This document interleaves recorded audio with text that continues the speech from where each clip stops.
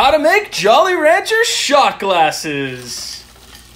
First, unwrap your Jolly Ranchers, and you're gonna be unwrapping a lot of them. Load the Jolly Ranchers into your silicone mold. Now you'll be using about 15 of these per glass. All right, green's done. And to load them, you're really just shoving all of them in there. Just like this. All right, now the blue's done. Make sure your oven is at 350 degrees Fahrenheit.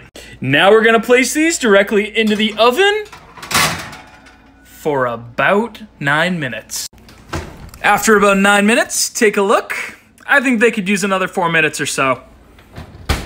Now after 12 minutes, you're gonna take out your shot glasses and place them on a level spot.